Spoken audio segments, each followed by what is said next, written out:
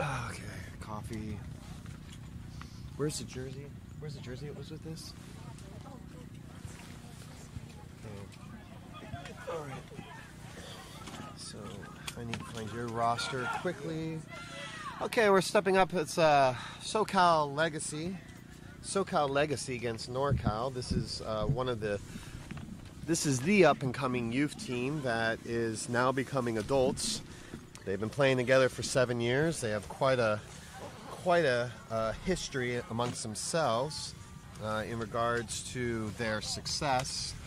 They're the only youth team that has traveled abroad and played in the Major Cup in Portugal. Um, and sitting in with me right now, sitting in with me right now is uh, Frank Zimmerman. Uh, everyone knows as the uh, director of the U.S. Beach Soccer Championships in Oceanside, the largest and most prestigious event on the West Coast. Saying that as another person that puts on events. Thank you to be here. Thank you, Tig. I appreciate you being here. Yeah, it's fun to watch a team from NorCal that your neck of the woods play a team that was born at my event in Oceanside with players I've watched grow up and, uh, you know, have a chance to start making a name for themselves in the, the men's and even uh, higher levels of the adults, man. It's going to be fun today. And as we get going, Gabe Silveira has the ball. He drops it back to, to who we will be calling X. Um, X is Javier uh, Snail, Snail Williams, but we'll be just calling him X because that's what he prefers. Starting lineups today for NorCal's X and goal: Joao, uh, Joao de la Rosa, uh, Rovazio de Rosa. Uh, starting on the left side, Alan Grady now receiving the ball on the right side, and then up top we have Gabe Silveira, and who's on the current U.S. national team, and number nine being Yuri Morales, uh, formerly the most prolific goal scorer, and almost showing us there getting near goal. Um, for the uh, SoCal Legacy, number uh, 15 is Antonio Chavez. And due to our angle, we have to wait to be able to recognize all the players. But number two, Justin Ricketts, playing on the right in the back, as well as uh, number six, Andrew Torres, playing on the left, and number 11, Israel Ramirez, playing at the other attacking position.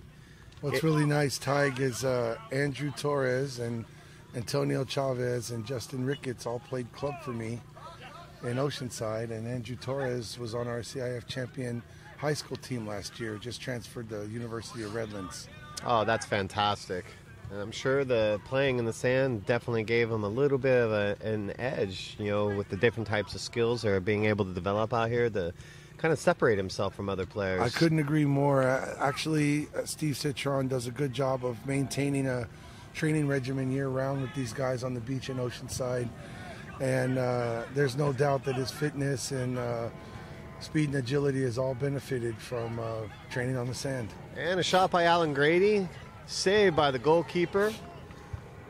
Marquez, Gonzalo Marquez in goal for the Legacy. It's just fun to watch Gabe on the ball, Ty.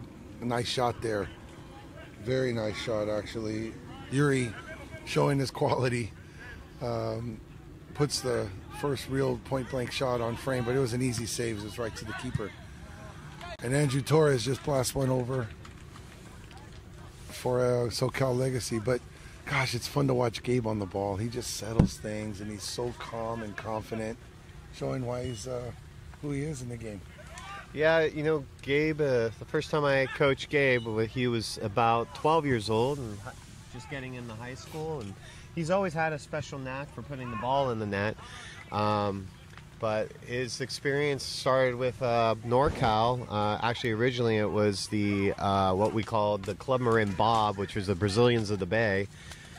It was great. We just did a uh, on our social media recently. With, for, with we uh, did a a photo of Gabe playing against the the the famed Team 99, which was the U.S. national team from 2005 to 2009, and Gabe was probably about 14 or 15 years old, playing against the top players in the world and former CONCACAF champions. So to now find Gabe playing for the U.S. national team is not too much of a surprise.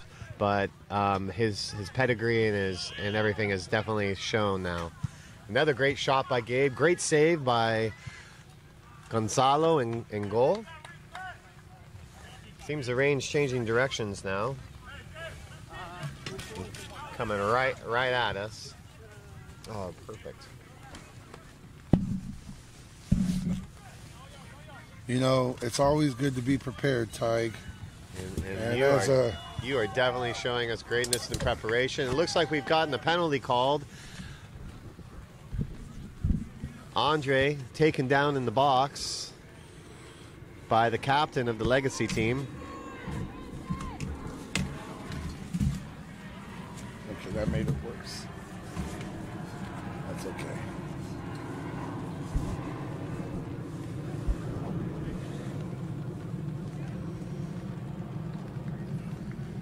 Goalkeeper Gonzalo Marquez helps up his teammate.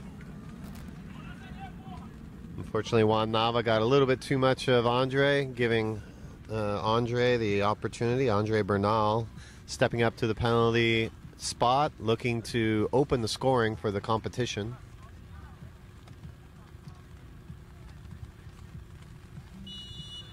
Bernal.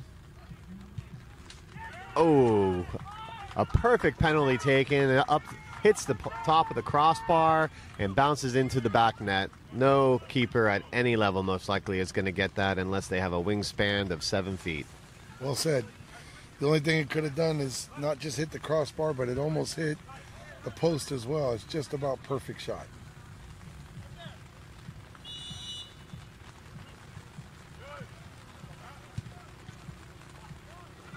It's a good save there. Shot from Matthew. I'm trying to read it here. It's Menden. Can you say that vanden vanden Heuvel. Okay, Menden Wow. Heuvel. we'll call him that He actually uh, stole the ball off of SoCal's kickoff and had a quick shot within seconds of the PK. So Matt's a player that's really come along for the NorCal team. Great shot from Marquez in goal. Almost caught catching uh, X off guard. Matt's been a player that's been playing in the, the beach soccer tournaments in Santa Cruz since he was uh, like eight years old. Um, he's he's someone that's that's adjusted his temperament and his and his game to a completely different level. Actually, since going to the Oceansides event and and realizing the type of professionalism found uh, with the pro players. Um, his maturity has raised so high, and it's it's shown in the way that he plays. X takes a shot on goal, and Yuri Morales falls on the on the ricochet and puts it away. Two nothing NorCal. X's shot just dipped and a la Roberto Carlos swerved. And uh, of course, the follow through was tucked in the side netting very nicely. X hails from Oceanside as well. It's amazing. It was there's there's one, there's one word you can say about that shot. It was nasty. Nasty, for sure.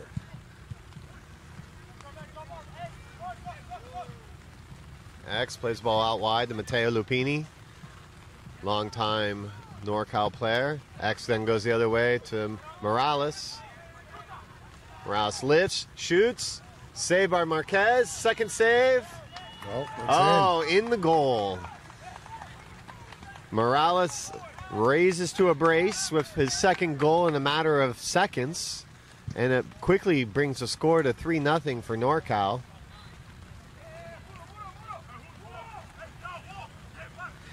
The Legacy Boys, although they've lost very few games in their history, are being introduced to a completely new level. They did win the uh, men's bracket pretty handily this year in, in Oceanside, the level below the pros. So this is their first introduction into really seeing what's going to be like for them to bring it to the next level.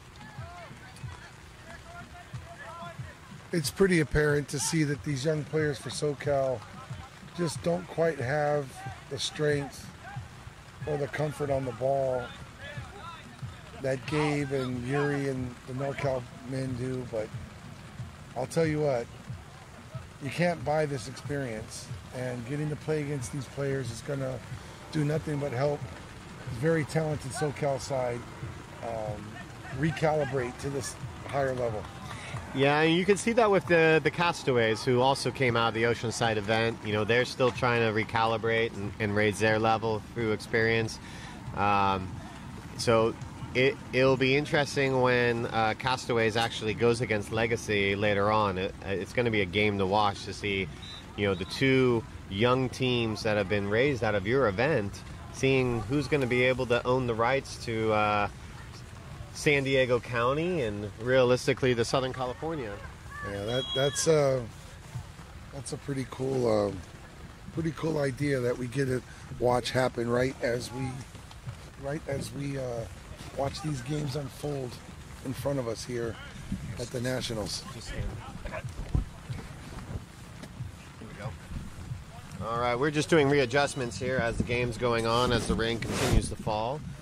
We were supposed to have a 30, 40% chance of rain today, starting at 3 o'clock, and it hasn't let up. And I'm just going to keep going back to the fact that, nice shot by Silvera. Going to keep going back to the fact that San Diego is supposed to have 10 days of rain a year, and we've had now three of the last four. You brought it with you from NorCal, Ty. I don't Oh, know I- what else to say. I don't know, it's been kind of dry up there. We've been dry and drought for years, so I don't know what that's all about. Great looking opportunity from uh, number five, Matthew Citron.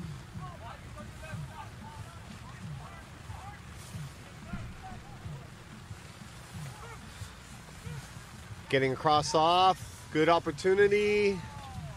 Swallowed up, it's played out to Silvera. Silvera plays to Grady. Whoop, Grady fought Silvera with staying. That shows experience right there. They come back to the goalkeeper, reset, swings out to Matt.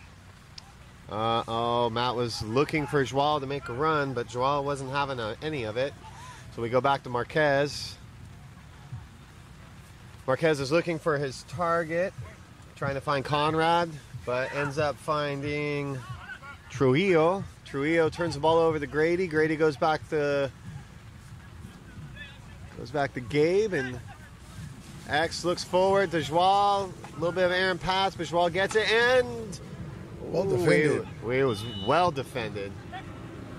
We we all saw Silvera looking to go for that bike.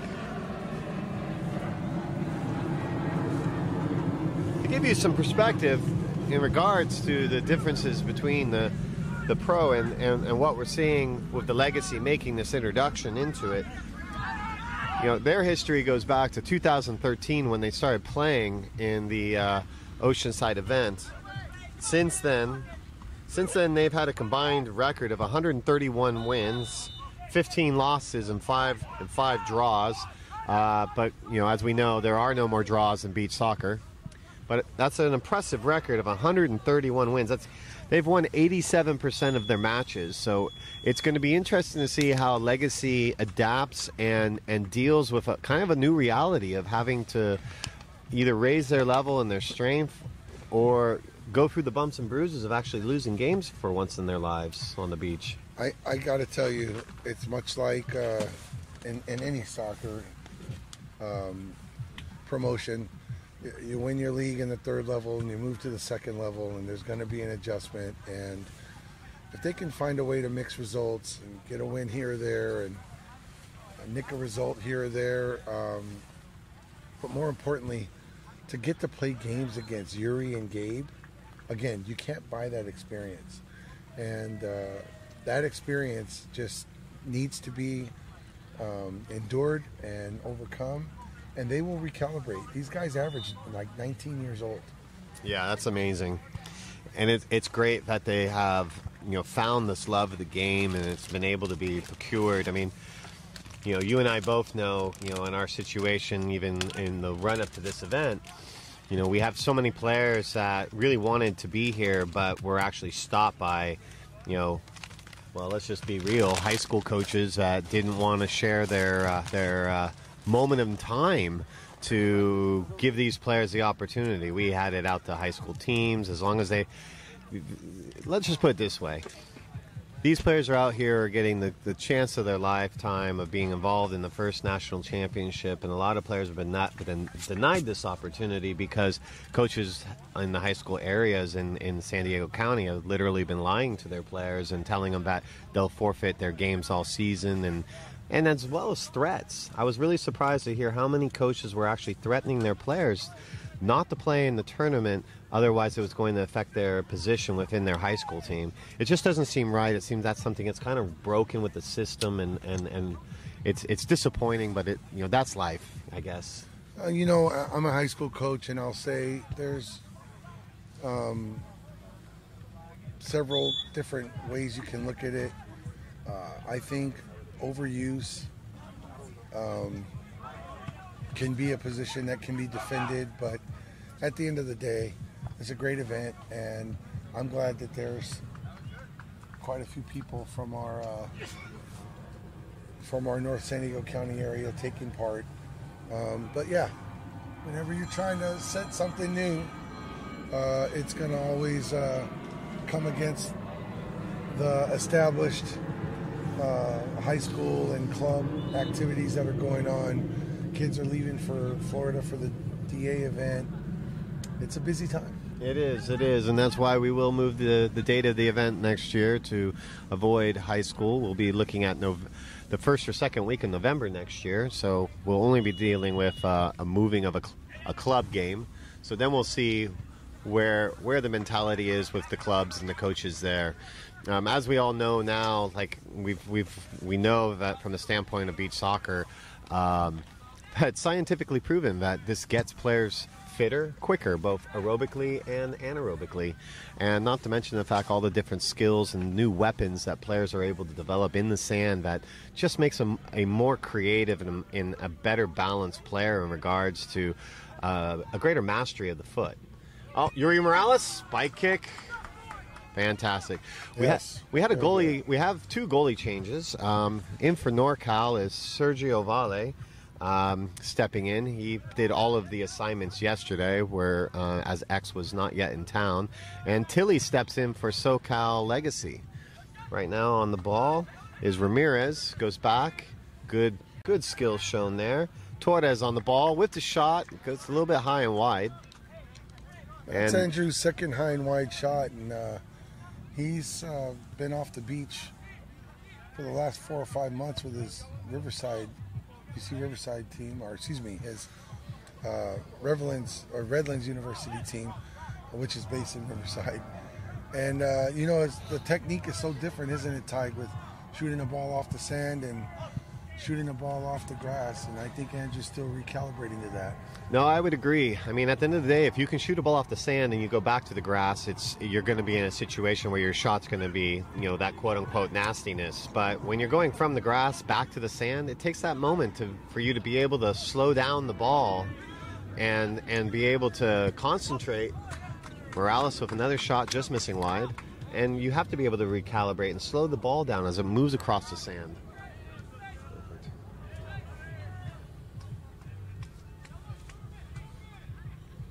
What I like is SoCal is trying to establish some rhythm now. Torres is on the ball. Yeah, they've slowed it down. It's good. That, that's going to bear well for them. I, I mean, obviously, NorCal uh, is winning comfortably, so they can allow that. But um, but I think this is going to be really meaningful experience for SoCal as they learn to try and establish rhythm against a very good side. Justin Ricketts showing some athleticism. And there's the man. Justin comes back. Justin Ricketts for SoCal comes back and defends nicely, but unfortunately, when he cleared the area, Yuri was right there and he poked the ball in from about 15 feet. So, quality there, good finish. Uh, still a great effort from uh, Justin Ricketts to get back and defend the first part of that attack. And we have SoCal Legacy We're ready to kick off.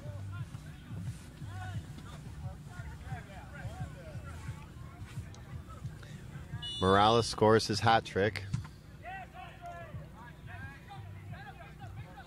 Antonio Chavez, known for that long hair, um, his shot goes deflected off. Ooh, nice shot. Antonio Chavez with the bike off the throw-in sequence. Very nice. Good save there from Sergio Valle, who tied um, ooh, bicycle opportunity from Justin Ricketts. Oh, I was, and Frank, just so so we understand, because I got corrected and called out on it. It's actually Valle, Sergio Valle, Valle. it, I was it. doing La Valle all day yesterday, and he got a few phone calls. You know what? I, I always get Chris Toth and Toth mixed up, and I get yelled at for that. So yes. goalkeepers in their names, man. Wow. But anyway, you, you know, Sergio looks good, man. He looks fit and uh, really solid, man. So yeah. that's good. Good as, to see. as a former U.S. national team goalkeeper as well, I mean, I don't think I've ever seen him as good as he is right now. He's put a lot of time into uh, getting himself fit, and and um, he has two teams here that have qualified for the national championship. Um, he has two teams that have qualified for the national championship, so he's been working with them and and coaching and training. Uh, Andre draws another foul. Um, that one was an interesting way of contact. I, don't- I think it could have been going the other way, but uh, Andre got to the spot and threw his keister in the way of the of the encroaching man, and here we are with a free kick on goal. Yep.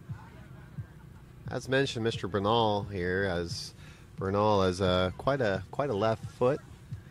He's definitely going to be putting pressure under uh, Tilly here.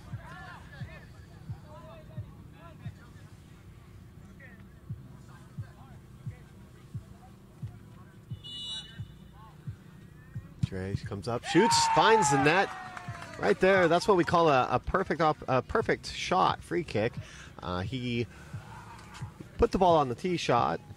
As he hit it, hit the sand three feet in front of the keeper. As the keeper went down, there was nothing he could do as it bounced over his arms and into the net. That is beach soccer in a nutshell. As a player, we're always telling, as coaches, we're always telling our players to get over the ball and you know keep your shots low. And that's another advantage with beach soccer, as the kickoff from uh, shot from Ramirez gets saved by uh, Valle. As you take free kicks, you're wanting to not only get over it, but you're wanting to hit it in a way that it's actually going to hit the ground. That, from a developmental standpoint, for uh, for a player looking to become a better shooter, is absolutely astoundingly good.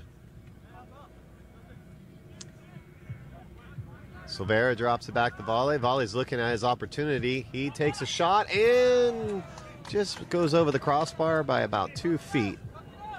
Saw that one coming for sure. Tilly looks to looks to hit a target up front. Goes into Citron, I believe.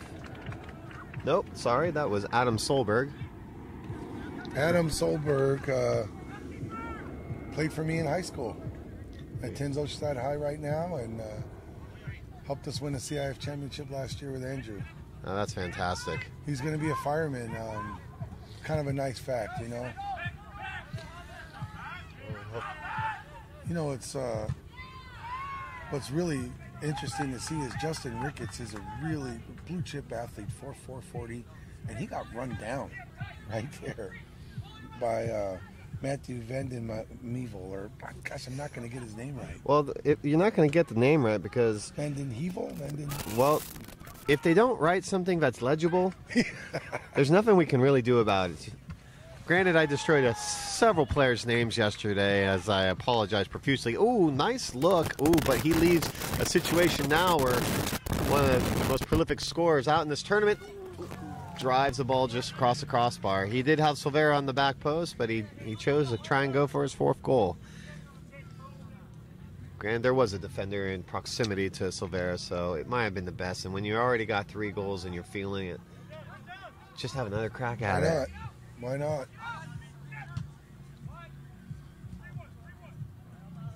Everything's okay when you're winning 4 0.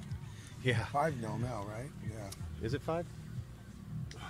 Keep on missing these NorCal goals. Yeah, so um, You can hear the players, the NorCal players, talking out there very patiently, saying, well, "Okay, are we going three-one? Are we going two-two? Big time opportunity from Morales with the bike, greatly well defended by Ricketts. you know, let's not pass the opportunity to better explain, Ty, three one and two two, you're referring to their uh, Formation. organization of, Yeah. their, of their players and. Um, oh, Oh, off the inside post. What a great steal by Solberg. And the shot just narrowly misses going in the net. Ricketts. Oh, outside netting, man. out. No, SoCal Legacy picking it up here. Finding a, finding a little air to breathe.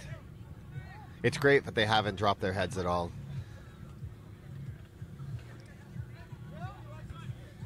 Well defended by Torres. He captains this team, and uh, he's a good young man. Torres back again. Great defending. Oh, but Silvera shows his experience and oh, cleared off the line. Well done by once again Solberg. Looking for the target. Matt steps in, defends it out, pushes ball out of bounds. Solberg will take the throw. Rickett, Ricketts and Nava look like his two options. Intelligently, he runs back to the goalkeeper. Goalkeeper intelligently pushes outside the box showing a little foot skill there on the goalkeeper with the new the new wave at the uh, goalkeepers push and control the ball in the back. Looking looking for Torres. Seems Citron is staying with the same group of players right now. Not much rotation going on, keeping these guys out there pushing hard. And there is a professional beach soccer foul if I've ever seen one. Well, you know, that's Andrew's second foul this period, and uh, you know, this actually is a decent ref crew. I would be interested to see if Andrew continues with the physical play. It's amazing to consider that this team has played, uh, as a youth, has played 36 tournaments, and they've actually won 26 of those 36 tournaments, including the international tournaments. They're definitely a group that's going to be uh, needed to be looked at, especially when they get old enough to be starting to be considered for the U.S. national team. Speaking of the U.S. national team, we have the men's assistant and women's head coach in attendance, being able to watch all these games and to see the players of the future. Francis Farberoff, who sat in with us yesterday. Ooh, with a little flicky ball in the and guess who it is? Solberg once again clearing the ball off the line, saving another goal. Solberg showing it on both the offensive side and the defensive side. Nah. Big shot by Matteo Lupini throwing sand, wishing that he got the call for the foul, which happened after his shot got off and was blocked. Although that did not become a corner kick. Tag, you know, while the ball's being played here by SoCal, take us through the 2 2 and the, the different formations, man. Well, from the standpoint of a 3 1, it's really almost like a, a traditional diamond per se in futsal. You're you're looking at a, a, a being conservative in the way that you're moving forward by taking care of your defense first, uh, making sure that you have wide players and a central player for the goalkeeper once he has the ball. Um, all of the movement all of the movement um, out of the back, um, therefore, comes first as a ball's played wide, and then the player that's in the middle in the back then makes a, a diagonal run, allowing the player on the outside to come back into that middle space. I mean, the reality is is that you're looking at a 3-1 as a situation of protecting your goal first, and it's also the only way you can play if you do not have a goalkeeper that has feet. Now, in respects to the 2 2, you're thinking that more as like a. You're thinking of the 2 2 as more of a, a, a system that is used to equate for those. Granted, anyone watching here internationally, this may not uh, resonate with you, but from a basketball standpoint, you're playing uh, the four positions, not including the center. Uh, it's more of a zonal type defending. It's more zonal in, in regards to the runs, um, but it's also putting you in a situation where you have two wide players in the back, the goalkeeper as the, as the bottom of the triangle, but then the goalkeepers got to be able to use their feet. What you do in this situation, if a team is pressing on you and you're in a 2 2, you send one of your two outside players forward, literally having to, you know, and this is kind of the new way. Um, you send one of them forward, taking away that extra defender and leaving you in a two on one in the back. With a, with a goalkeeper having their feet, now they can play between one defender over over his head, or um, as he commits to the goalkeeper, the other player can make a diagonal to the middle.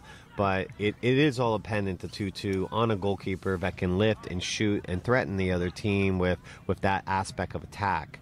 Um, you saw this done masterfully in 2017 at the World Cup by both Iran and Brazil, and it was really the first time that you kind of saw this sort of system being used with such efficiency because the game has been so much a situation where it's all about the pressure that you're putting on the back to kind Yes. of disrupt the game. Yep. And by literally putting, sending a third person forward and having three, literally you put yourself in almost a 1 3 when you're getting a full field pressure. It puts the onus on the two guys in the back being able to play keep away and to create the opportunities to move forward. Yeah, to keep that high uh, attacker that's defending the goalkeeper in the back that stays back, to keep him moving.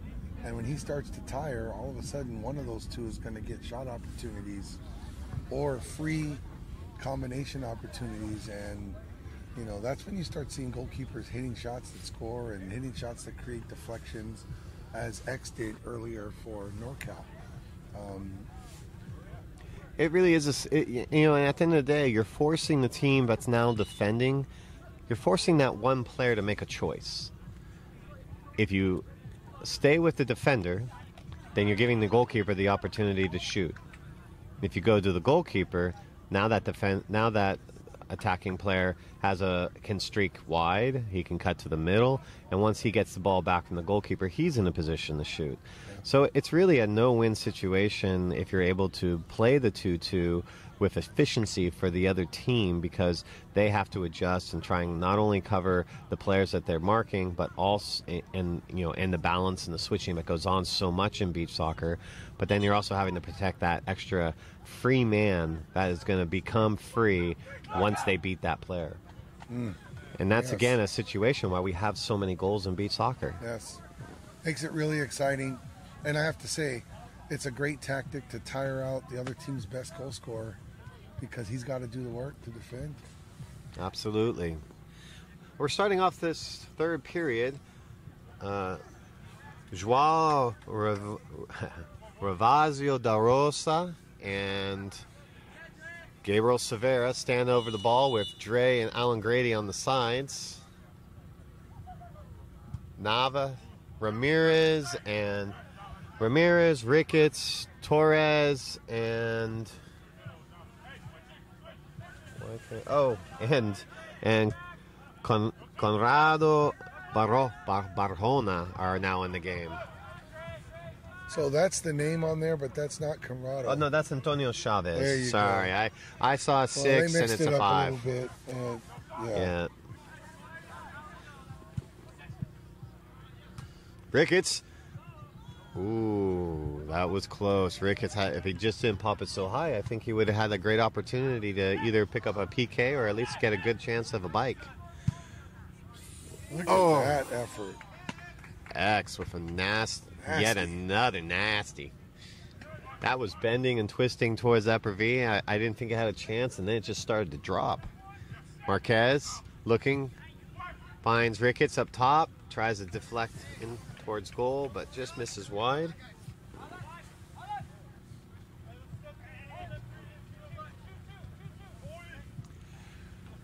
You know, Cal, NorCal people are laughing at us with this rain and weather, and people can't drive in San Diego.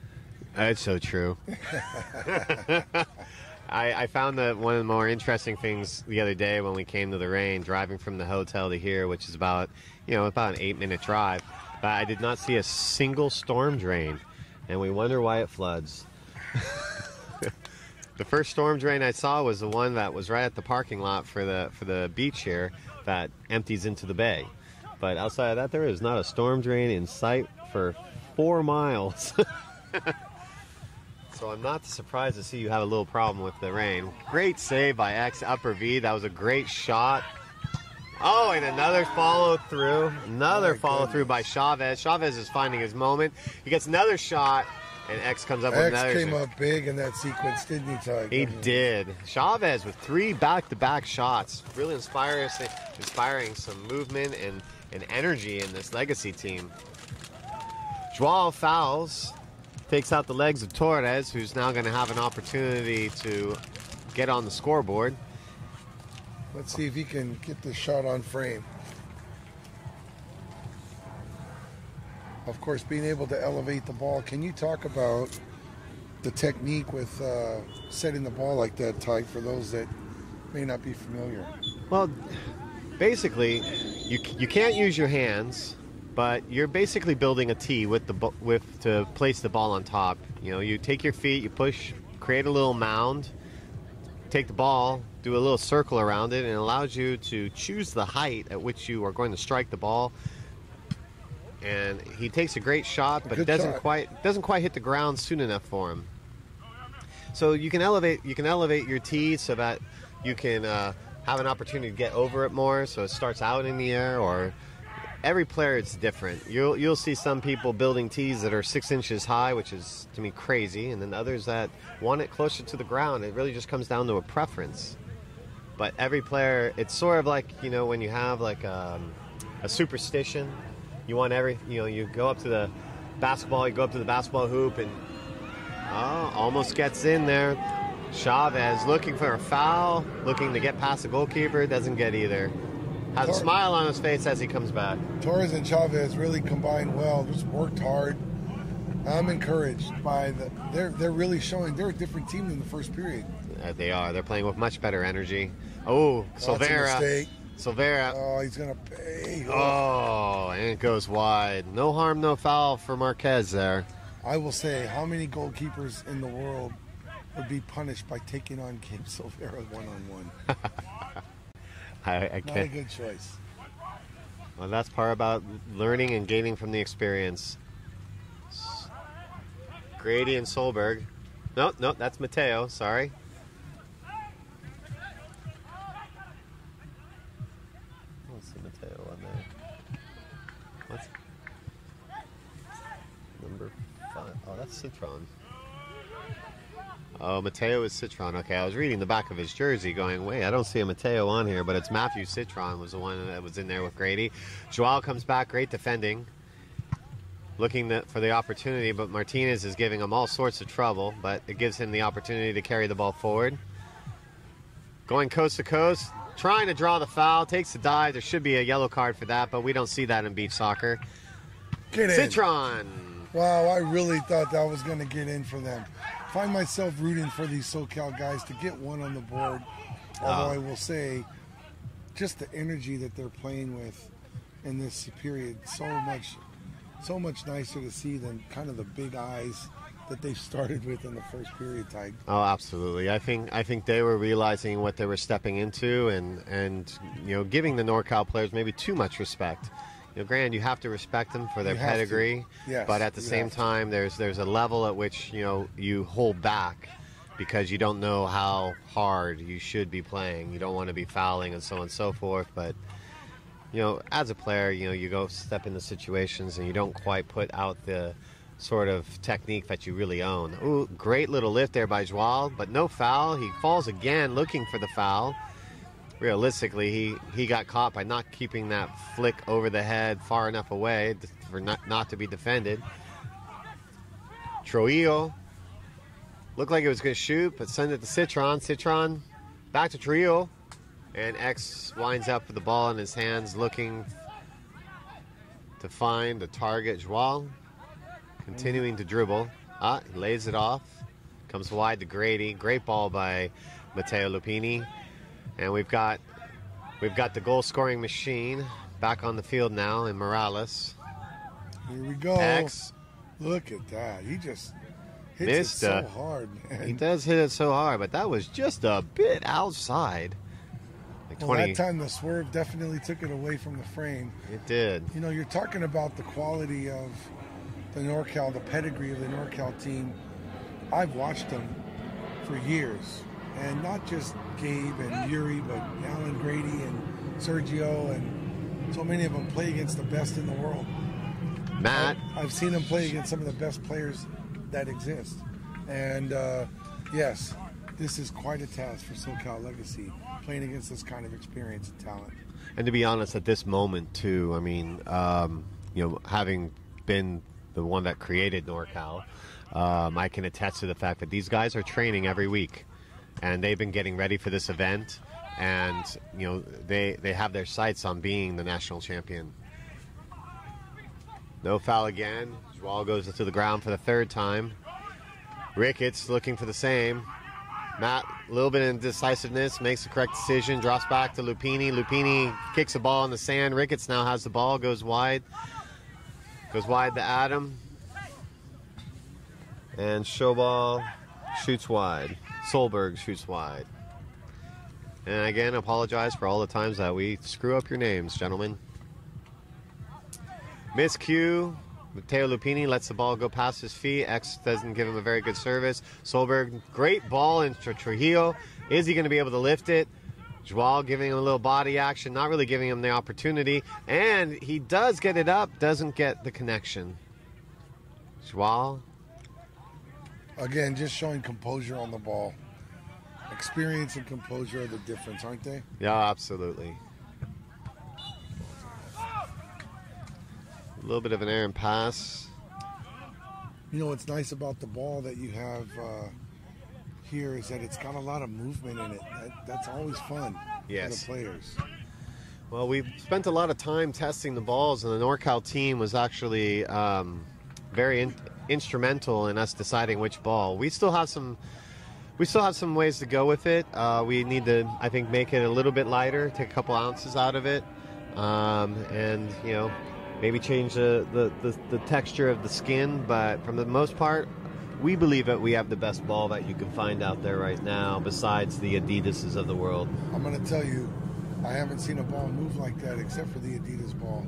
Oh, look at Oh my goodness! Now Look that just some nastiness in itself. Matteo Lupini knocks the perfect cross and a world-class finish once again by Morales. Four goals in this game. Now taking the total score to six 0 against these young legacy players. That but was the- world class, man. Nah, it is just sick, just sick.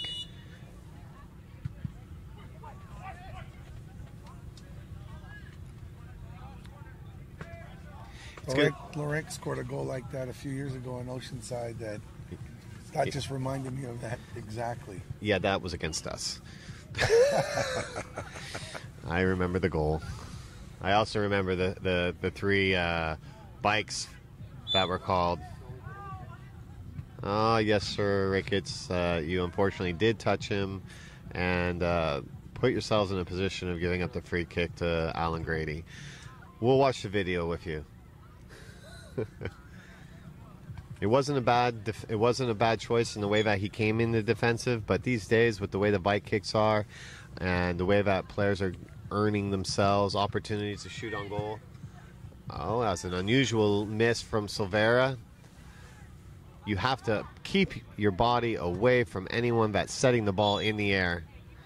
Joao gets called for the foul. Let's, let's talk about the evolution of that. So, so a few years back, if you were just stationary and there was contact, you probably wouldn't get the call. No, you would not. In, in fact, the again, I, I, I ex, excuse me for keeping going back to the basketball like metaphors, but the way that we used to describe it, if you were a player and somebody's trying to do a bike kick, if you stayed stationary and didn't move, it was like sort of like a basketball charge. Hmm. So if the kicker made contact with you and you didn't move, the foul would be on the kicker. But if you moved at all on the contact, then the foul would be a free kick for the for, for whoever it was the shooter was. And now it's quite a bit different the way that it's being interpreted, the law that is. Yeah, once the ball is brought in the air um, with your back to goal, and it's anywhere within the zone, and if, it, and if you're thinking about the zone, we're talking about the area that's in between your two hips. And you bring that ball with control anywhere above your chest level where you can get some sort of uh, rotation in your body to hit a bike kick, nobody can touch you. So if you do the bike kick, and this is how Laurent got us at your event the other year, Laurent has developed a technique where when he lifts the ball, he lifts it almost backwards a bit. He's had the practices of a gazillion times, but it means now he's jumping backwards to make contact for the ball to go for his shot. So he's manufacturing opportunities for contact. Pretty good, huh? Yeah, so we lost that game. We were ahead of his team in Oceanside by two goals, and and um, he gained, he scored that na- the nastiness you were talking about. But also, it was a situation where he was setting balls, or even when our defenders were jumping backwards, they were still getting called Yeah, for the foul. right. So we've concluded this game with NorCal ending with a 6 0 win. Um, it's it's great to see that the, the legacy players are smiling. You know, this was their first encounter of the weekend. I'm sure we're going to see them improve with each and every game. And um, NorCal sets them up themselves up by winning their round two round robin matches, uh, sending them into uh, directly into the semifinal. We have a 16 bracket, so uh, we'll be seeing no matter what SoCal Legacy facing off against somebody from the other group in a quarterfinal once they get through the next match. Nice. You know what's good is you see all the players from both teams just smiling and enjoying each other. Really, it's what beach soccer is all about. It's it's a lifestyle, um, and uh, these guys all uh, are, are working toward a goal of promoting what I feel is the most exciting version of the game. As a club director, high school and college coach, I'm telling you, I feel that beach soccer is the most exciting version of the game that exists. And there's and there are many people that have exposed themselves to it, and I would say a majority of people that have truly exposed themselves to that to it agree with you 100%. I think I think one of the most interesting things, Frank, um, is the fact that you see this camaraderie amongst all of the players in beach soccer. It, it is a community. I mean, there's even the hashtag beach soccer family. When I just was in Alanya for the World Winners Cup, it's a different attitude over there. And and we're talking about teams from all over the world coming together and there's no there's no if us or them or whatever. Of course teams have rivalries but at the end of the day we're all part of the same family. It's not it's not the same with it's not the same as with the grass where you have these built up um, resentments that have been going on for decades you know because you know as a someone who's a historian in regards to the grass game and someone who understands you know a lot of uh, these aspects of you know wars beginning and wars ending and wars stalling just around the game of, of football if we were to call it correctly. Um, it's been refreshing to see how the people within the beach soccer community are